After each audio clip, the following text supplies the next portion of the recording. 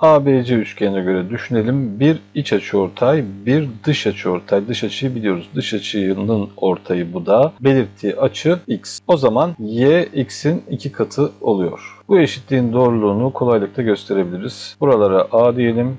Bunlar da b olsun.